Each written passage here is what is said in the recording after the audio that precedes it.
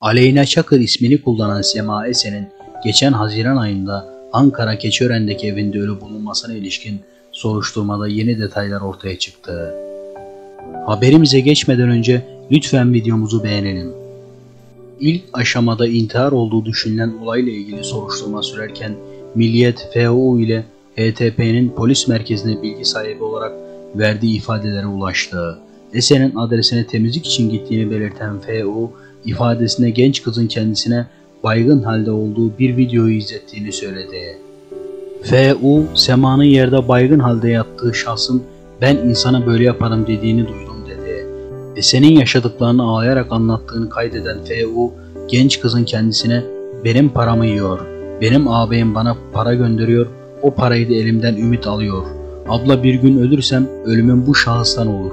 Bu şahıs beni öldürür. Bak bir gün duyarsın. Sebebim ümit dedi ifadelerini kullandı. Esen'in yakın arkadaşı HTP ise ifadesinde şunları söyledi. Sema bana Ümitcan'ın kendisini darp ettiğini ve vücudundaki darp izlerini gösterdiği olurdu. Bana izlettiği bir videoda Ümitcan'ın ağzına silah dayadığını gösterdi. Milliyete konuşan Esen'in ailesinin avukatı Uğur Yıldırım ise adli tıp raporunda cinsel birliktelik ve boğuşma emareleri var.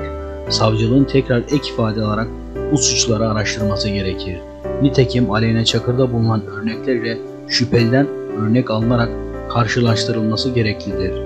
Bu şekilde sağlıklı bir soruşturma yürütülebilir. P.U'nun bu itirafları gündeme bomba gibi düştü. Lütfen siz de videomuzu beğenmeyi unutmayın. Kanala abone olursanız şimdiden teşekkürler.